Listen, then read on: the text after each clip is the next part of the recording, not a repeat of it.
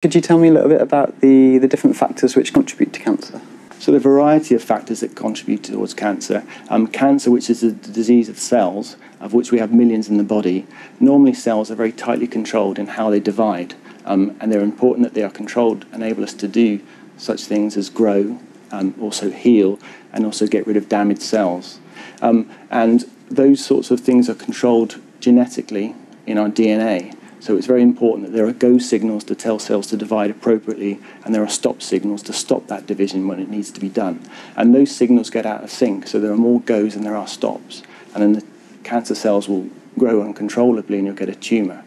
Now, things can make that more likely are things such as genetic uh, um, parameters, such as if you've inherited a faulty gene from your parents, um, and they will make you one step closer to losing control of those dividing signals. Uh, other things that can also have a, an impact are things such as infections. Um, viruses can cause you more likely to get a cancer, and all of these things are causing more and more damage to the DNA. And these accumulations of damages make the cancer outcome more likely. Um, other factors will be people who have got immunosuppression, so they're less able to fight an immune response um, to, to get rid of cancer when it first emerges. And other things are things such as environmental factors and lifestyle choices. Um, pollution can help to cause cancer. Um, toxic substances that you get from smoking.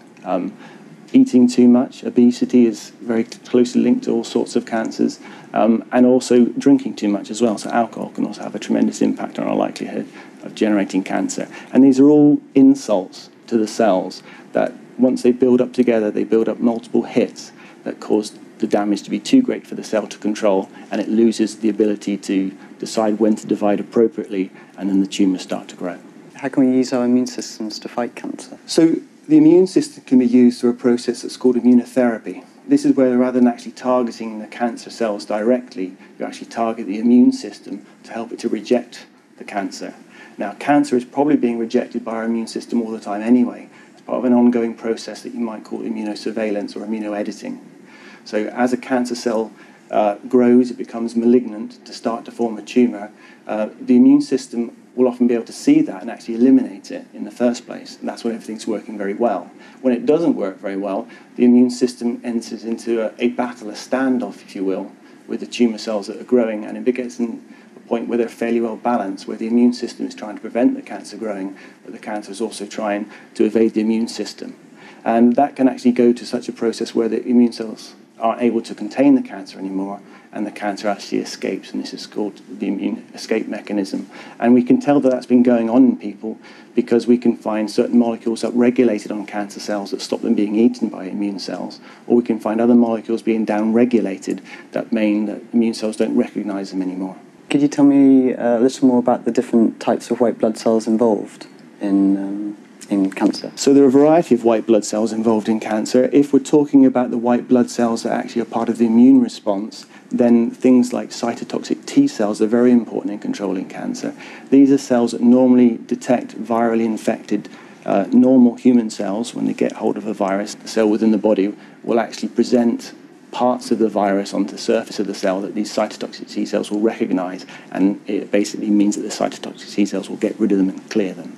Um, so those are a very important cell in there. Uh, B cells are also very important. They're a different cell. Rather than directly targeting uh, the cancer cell itself, what they actually do is they produce antibodies, which themselves then bind to the target of the cell to cause them to clear or to stop growing. So is there anything we can do to improve our immune responses? Well, we can. What we can actually do is harness those normal adaptive and innate immune responses that can clear cancer cells but are obviously normally seen in the process of getting rid of viruses and bacteria, etc.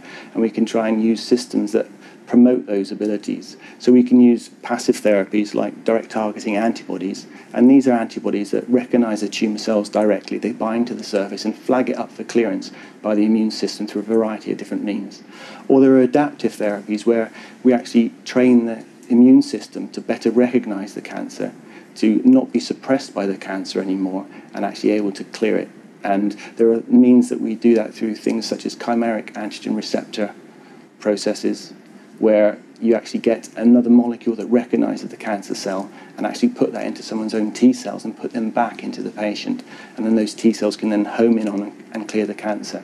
Um, or there are things such as vaccinations where you can actually vaccinate against a cancer uh, to try and get rid of it. So you recognize certain molecules that are expressed on the surface of the cancer cell, and then the vaccination can actually bring in those play and bring in the immune system to get rid of them. So do you see these treatments coming into the clinic anytime soon? How, how far off are they? Quite a number of these therapies are already in the clinic. Passive therapy has been around for several decades now. The adaptive immunotherapies are actually coming into play quite um, frequently now, and there are some really exciting results coming in for clinical trials right as we speak of checkpoint blockers.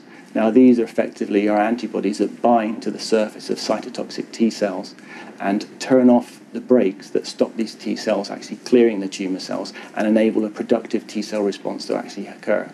Um, and these are producing remarkable results in patients that have been resistant to a variety of different sorts of therapies in the past normal chemotherapy, radiotherapy, and even surgery.